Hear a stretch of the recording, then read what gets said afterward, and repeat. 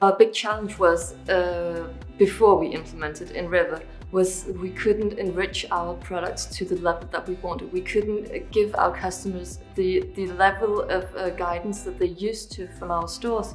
We just couldn't uh, accomplish that because it was such a grueling task to, uh, to enrich the products. So that's really where uh, inriver is helping us and then also to create new experiences with the products uh, online to create different uh, relationships between the products, present them in bundles or with the videos and everything. It's helped us to scale this enrichment so that it comes across on, on all of our products.